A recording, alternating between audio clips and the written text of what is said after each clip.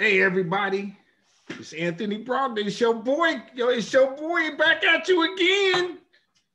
I'm back at you again. I'm man, I'm having fun doing this. This is my man. I enjoy this a lot. And the thing about it is, I get a chance to talk with people across the country who telling their story. I don't even tell it. I let them tell it here on Strong Inspirations. So what happened was now, before I tell you what happened was, I'm gonna tell you and I'm gonna ask you and I'm gonna plead with you and I'm gonna do all I can to say, hey, hit the subscribe button, it's free. Hit the like button on one of these videos. Hit the notifications button so you notified, so you'll be notified when I come at you with another interview, another piece of content. And I do it two, three times a week. And then tell somebody about strong inspirations. All right. Uh, you know, I got to tell you, I got a book out. It's called Black Business Book. It's got over 200 facts. Slaves went to college. Slaves who owned businesses used their profits to buy their freedom. I, I tell you all the way slaves gained their freedom in my book. And then I got my movie out. It's called Business in the Black. It's a documentary. See, the documentary mm-hmm. came first and then the book. And I took the doc, the documentary came out in 2017, and I took it to 40 cities across the country. And I took it to the city where the brother's sitting with me today, not to his city. I was a little bit outside his city, never heard of Donaldson. I was in New Orleans, and I was down there eating beignets and things like that, having a good time. Alligator voodoo and all that kind of stuff. I was down there hanging showing my movie and sharing some of this knowledge that I just happened to come into. But see, now I go to the next level. I got the people who know it better than I do on Strong Inspirations. So the book and the movie is on Amazon and on my website, businessintheblack.net. All right. So now what we're gonna do is I'm gonna let my man here tell you his story. And I and what happened is I found him on the internet, you know, because I be doing a little research and whatnot, trying to find out who's who and what's what. And uh, see, the next big hit for me, because I'm starting to now try to figure out the holidays, you know, the black people need to know about. And Mardi Gras is coming up soon in February. So I got to thinking, let's start hitting New Orleans and that Louisiana area. And so I found my man on the internet. I called him up. The guy said, Hey, man, I'd love to do it. So here he is. Hey, how you doing? Time out his business schedule to come on Strong Inspirations. Here he is. Introduce yourself. Tell us a little bit about what you're doing. Yeah, uh, my name's Darryl Hambrick. I'm uh, in Donaldsonville, Louisiana, right outside of Baton Rouge, between New Orleans, right on the Mississippi River, uh, in the heart of what is known as plantation country. That's what they refer to. Uh, tourists come from all over the world uh, to Louisiana to, to, to, learn this history about plantation country. Uh, just so happened I was born in Los Angeles. My parents lived here grew up in uh, Louisiana, moved back to Louisiana after the uh, Watts riots. My mom said, Hey, I'm getting out of California. I want to go back to Louisiana. I'd rather deal with Jim Crow and, and the rest of them than to be in Watts in the middle of those riots. My dad called us back here. I grew up here in the South, man. Uh, always wanted to go back to California. Did that, came back, and realized that the South is where I was supposed to be. Man, that's beautiful. Um, me and my sister moved back here to run our family business. I'm a licensed funeral director in the state of Louisiana.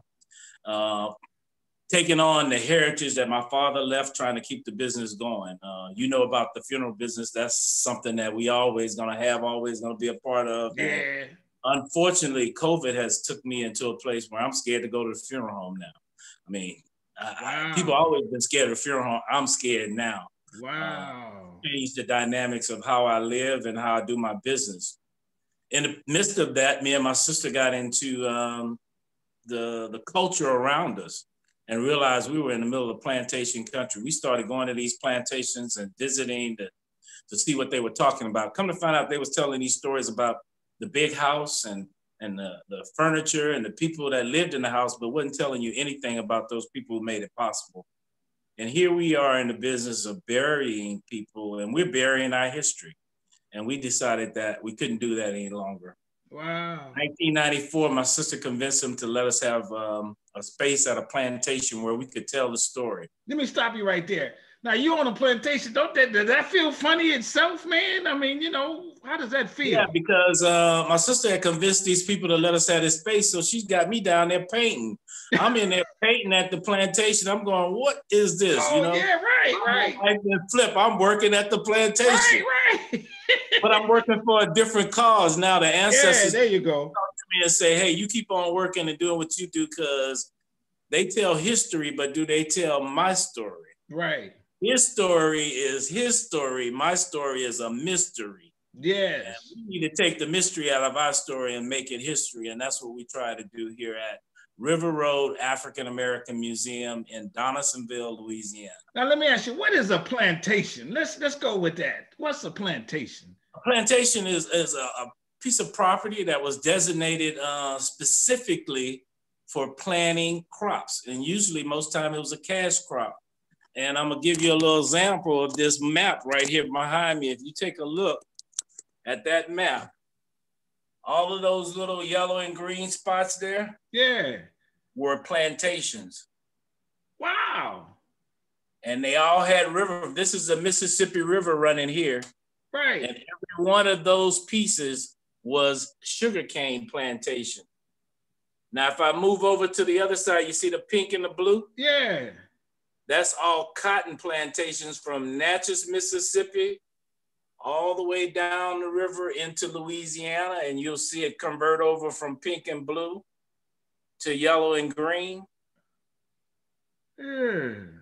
That's sugarcane cotton, pink and blue cotton, yellow and green sugarcane. So there were thousands of plantations all up and down this river. And mm. uh, we were the ones that made it possible. We were the ones who had to come clear the land, first of all, so that you could plan on it. Then we had to build the houses, build the plantation, build all the structures. Mm. And you had to farm the property. So it wasn't just you came to this place and it was already set up. Yeah. This was wilderness. The other thing, Native Americans were already here when they got here. So now you got Native Americans, Africans, you got the French, you got the Spanish, all of these people interacting right here yeah. on these plantations, creating wealth for Europeans. Yeah. Let me ask you, what is um what's sugar cane? I, I, I hear that. Is that just sugar that I put on my in my coffee or something? What's sugar cane? Sugar was gold during those days, during antebellum period and during the uh, slavery period. Sugar was like gold. If you had sugar on your table, it was something that determined your wealth. Uh, everybody didn't have sugar. If you sweetened something, you had to sweeten with honey or molasses or something other than sugar. So when sugar became the cash crop, that was one of the things. Europeans wanted sugar, crystallized sugar, brown sugar on their tables to sweeten their items with. And now, once that how, how do you grow sugar? I mean, how do you grow sugar? What is that? Sugar is grown in fields. Um, I wish it's I could take you out. I wish I could take you out the backyard and show you. Yeah. But all around here, from New Orleans all the way to Lake Charles, uh, Louisiana, sugarcane is grown. It's grown uh, in fields. It has to be planted. It has to be harvested. It has to be um, then crushed, uh, and the juices then boiled in these big kettles to to get the the the right consistency. It was hard work, uh, and it took gang labor. That's why the plantations here in South Louisiana had so many enslaved uh, people here. Uh, it took lots of people to maintain this crop. Oh, is that right? Yeah, now, a little different. Is, so is, is, is sugar cane, um, it, it, because of the conditions of where it is, it has to be near some moist or what have you to grow sugar cane?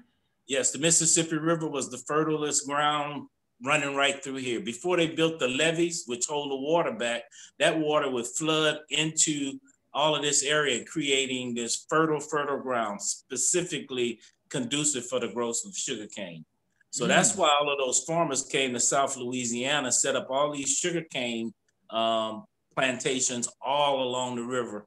Um, it was, again, a cash crop. It became more popular than cotton and um, rice or indigo. Oh, is that what's indigo? Indigo was something that they planted to use for um, coloring. Uh, it was a blue um, substance. Uh, it was grown um, for the blue that the blue product color that it produced. Okay. Dyeing clothes. They used it for oh, painting. Okay, okay. It, yeah, when you hear the color indigo as uh, blue, that's that's and it was poisonous and was causing um, death among the enslaved, so they stopped growing it. it, it oh, really? Oh, oh, yeah. Okay. Now, uh, is there one plantation that was the biggest one on the near uh, along right here where I am? There's like one right here in in in, in Ascension Parish where I live is one called Houmas House Plantation, which was one of the largest properties. He um, he purchased over 500 slaves from South Carolina in 1858. Would you believe they walked from South Carolina to Louisiana? This was after the international slave trade had been abolished and that it was no longer um, legal to transport from one continent to the other. They start transporting us within the United States. Yeah. So yeah. they sell us from one side, and most times it came from Virginia and on the East Coast into Louisiana as as it progressed westward. Now you said that was 1850, but slavery was 16, 19, and what have you. So did slavery right. 16? Yeah, yeah. So so did slavery in start like in South Carolina and then move down further south? Is that the way it went? You're correct. The, the 13 colonies, the original colonies, is where it all began. Uh, Louisiana was still part of the um, Louisiana Territory, Louisiana Purchase. Uh, Louisiana got into slavery in the 1700s. So it's almost 100 years later after what's going on on the East Coast. Now you have planters who have plantations not only in Virginia, but they have them in Louisiana. So now they're transporting their wealth from one place to the other. They're also transporting their the, the enslaved people to those places to work for them as well. Families, sisters, brothers would open plantations, cousins, and then they would swap and sell uh, enslaved people. I uh, see amongst those plantations. Is there is there uh, could ships come from uh, wherever they brought slaves to Louisiana, New or Orleans did they have to bring them inland, so to speak? New Orleans was the largest slave port um, in the South. You you control the Mississippi River. You control everything going up it and everything coming out of it. And um, the French knew that, and that's what the, they were fighting for. Whoever controlled the mouth of the Mississippi River controlled all the cotton, all the sugar, everything coming up and down. Any in any kind of transportation of uh, merchandise coming in and out that river was was there. New Orleans was a place, and then Donaldsonville becomes the second to third oldest city in the state of Louisiana. So right upriver from New Orleans, when you left on a ship or headed north, you would stop in Donaldsonville as the next port. Also, we have here is a bayou that runs from here into the Mississippi River and goes all the way to the Gulf of Mexico. So you could come in the bayou and get into Donaldsonville without going through New Orleans. And so it, it was kind of like a little a little shortcut. And it was a pirate by the name of Jean Lafitte who used it very often, smuggling slaves, smuggling alcohol, you name it. Now, right? bayou is that is that a lake or what is a bayou? A bayou is a small river, and it usually flows in both directions. A river usually one, runs in one direction, but a bayou is controlled by the tides. It's usually connected to a larger portion of water, such as the Gulf of Mexico. When the water comes up in the Gulf, so does the water go up in the bayou, and the tide goes both ways. Mm. Uh, a river usually runs uh, north and south, and I think um, by east, east and west. Uh, you know, when you think of slavery, uh, to me, I think of uh, Alabama and Mississippi and uh, uh, maybe those two in particular, maybe some Virginia. I think of them as the most vicious ones. Were they vicious in in Louisiana? I mean, the owners Louisiana had two different kinds of places. The northern part of Louisiana was was was totally different from Creole South Louisiana. When you talk about French Creole South, you're talking about uh, Catholics. You're talking about French who are risque and and did not have all of the the the particulars as the Englishmen. They would allow um, uh, families to have multiple. You could have the plantation owner would have a black family and a white family. Uh, and it would be okay here in Creole, Louisiana. But in northern parts of Mississippi and places like that, that was kind of. Uh, Hold on, stop me there. Say that again. They would have a black and a white family. What do you mean? What do you oh, mean? yeah, you'd have two families. He'd have a mistress, and he'd also have his wife who was at home taking care of his kids. Okay, hold on, stop me right there. What I thought the mistress was was the wife of the house. Mm-mm. No, the wife was his wife. He'd have her at the plantation. In New Orleans, he'd have a, a, a cottage or a, a, house in the city.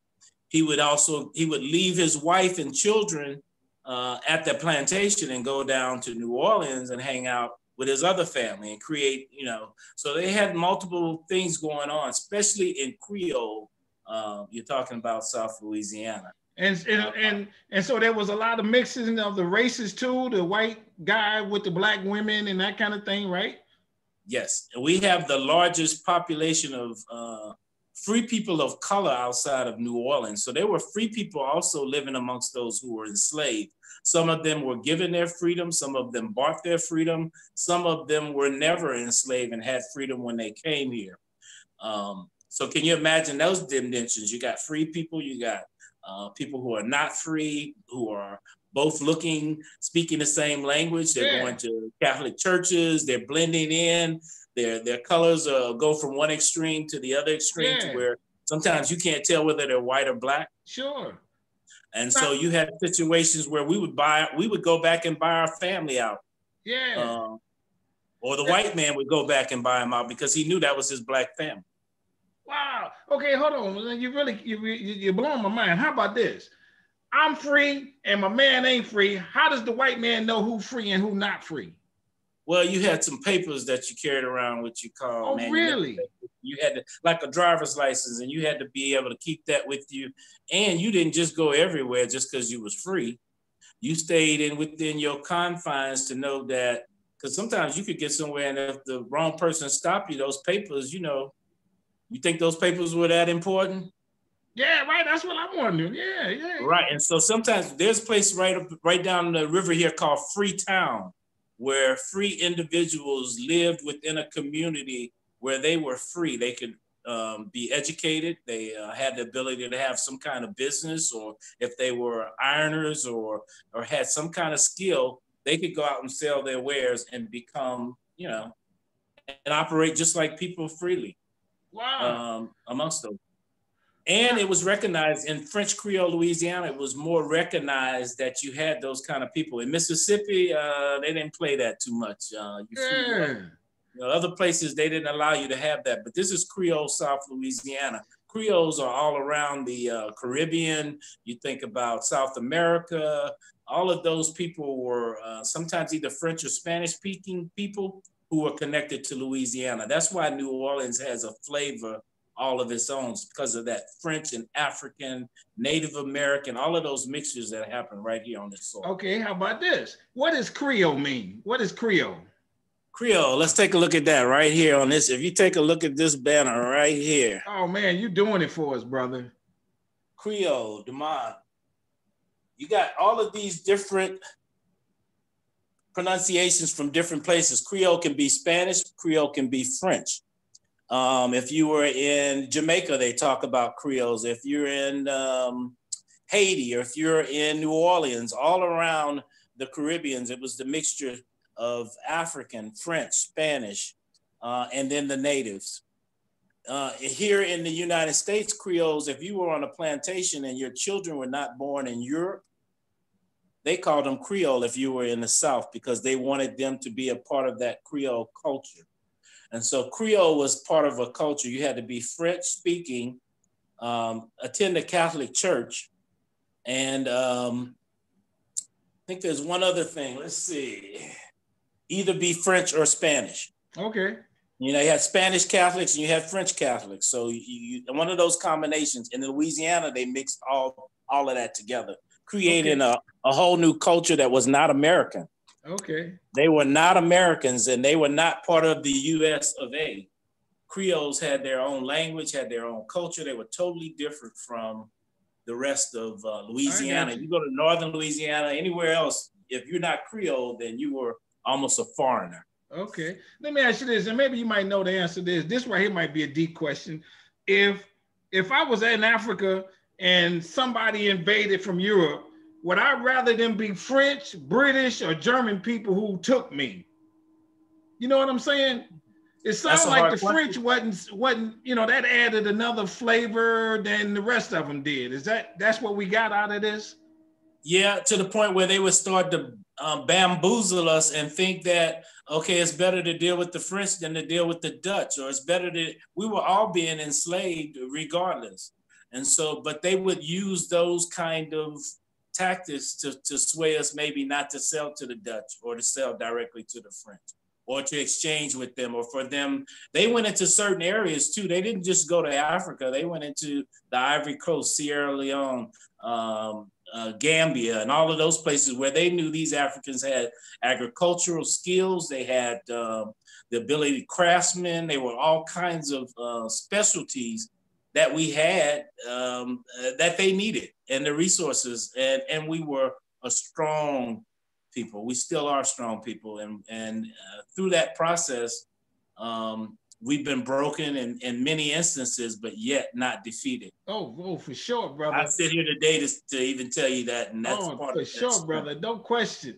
Um, uh, I don't know what else to ask you. Is there another question, or is there something else that happened in what? Like, is Donaldson known for? I know the plantation, yeah, but there something else?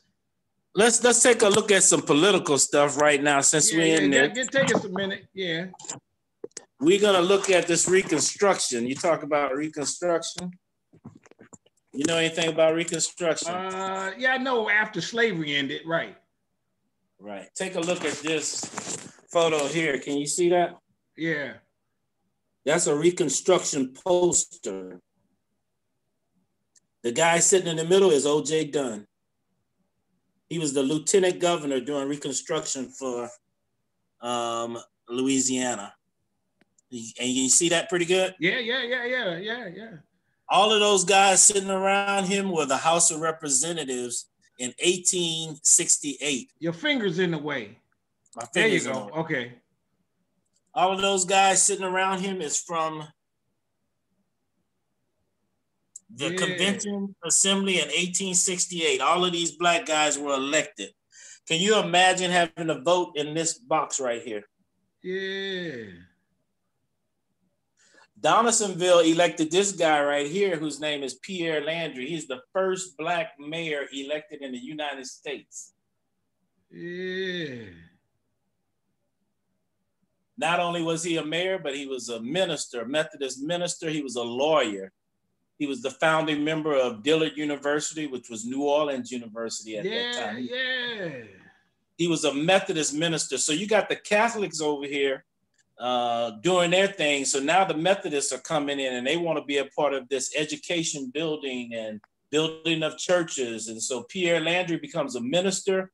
He founds a church, he founds schools, he opens up um, places that um, we can, can better ourselves. And so Reconstruction had us on the move to where we could, you know, change the way we live, the way we think. Mm. Uh, and this guy here, Pierre Landry, man, his his mother enslaved his father, one of the um, overseers, masters on the plantation. Mm. Born free, raised by a family of free people of color. So they taught him how to read and write. He could, you know, move freely. But he was sold back into slavery at the age of, of uh, 13 for $1,665. The plantation, uh, the, the owner dies and they do a succession. He sells everything, including this young boy. Oh. Sells him to the plantation, but because of his education, he could read and write better than anybody. Some of the masters couldn't even read and write as better as this guy. So he becomes very um, prolific in, in, in the movement. He, he works in the in the general store. And if you manage the general store on the plantation, you pretty much run the entire plantation. Yeah. He becomes a confectioner. He's making all kind of sweets and stuff with sugar and people like him, and he has this ability to deal with the big house as well as the people in the in the back house. Yeah. When he three years later in 1865, he's free. He moves to Donaldsonville. Three years later, he becomes the mayor, the first black mayor elected anywhere in the United States. Wow. And was the mayor of Donaldsonville. And so hmm. this history right here says a lot about this city and what was going on, yeah. where it's located, um, who, who was in control, uh, how much control they had, and how we were moving ourselves forward and trying to fit into a system where we could either be a mayor, a governor, a lieutenant yeah. governor, yeah, uh, uh, and represent our people just like we see them representing today. Yeah, sure, sure. Um, the last question, I guess, did people in New Orleans want to come to Donaldsonville? Was that like a more of a mecca uh, per se?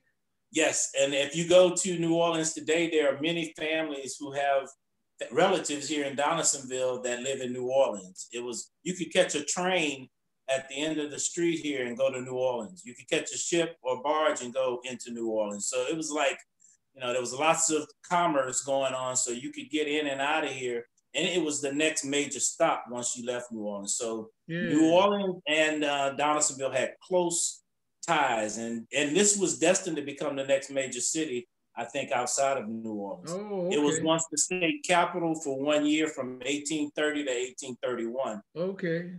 Um, well, so hey, brother, man, um, you, you, you, I know we, we could go through that whole museum if you let us. We'd had to pay admissions and stuff like yeah, that.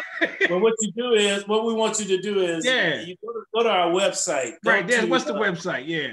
Yeah. Go to the um, AA, excuse me, African American Museum.org.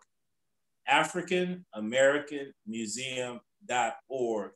You can go to our website. We have some virtual exhibits. We got some, um, we have some um, oral histories of local people talking about their families and how their families were a part of this community, what they remember. Um, and we also have five buildings that we're collecting. So go and learn a little bit about hey. this. It's been 25 years in the making. We need your support out there. If you yeah. want to be a part of what we're doing here in Donaldsonville, go to our website, make a donation, support us here at River Road African American Museum. Um, All right. Doing great things here in South Louisiana. We're trying to make a difference yeah. in a place where we made differences long time ago. Yeah. Is it, I got one more last question. Is there a festival in Donaldsonville or something like that? Or do, we, do the museum uh, do something that they commemorate something? Yeah, uh, we do a big festival every year. Uh, we used to do the Juneteenth festival. Okay. And you know, we had a hard time with Juneteenth. We used to struggle Juneteenth, Juneteenth, and, and people didn't even know what Juneteenth was. Yeah. And we built it up, and, and people began to, to come out, and and we were losing focus on what we were supposed to be doing here at the museum. So we kind of yeah, gave it off to you. someone else, passed it on, and now Juneteenth is the biggest thing that ever happened. Everybody knows what Juneteenth. Even white people today know what Juneteenth is. Yeah, when no time when black people we celebrate Cinco de Mayo and everybody else's, you know, mm-hmm. independence, but what about our own independence? Yeah, so, no question. Well, hey, brother Darryl, man, I thank you so very much for coming on. Everybody, I told you it was gonna be deep. Oh yeah. I told you I, I'm finding the people that know straight, no chaser. I don't even have to do nothing but ask a question and let it be. But check out the go to his website, people, and uh, uh, follow up on this. Learn a little bit more. There's a whole lot out of Louisiana that we're learning together. And I appreciate you coming on Strong Inspirations and giving this information. I appreciate you doing what you're doing. Uh, everybody, you know, check out my book, hit the subscribe, hit the like, tell somebody about Strong Inspirations. And do this. Stay strong. Stay on your grind, brother Darryl. Stay safe, yes, please. Yes, Everybody, sir. We try to keep it safe. Uh, thank you for coming out again, once again today. Um, I, I got love for you. Thank I'll you. back. Thanks, man. Peace. Peace out.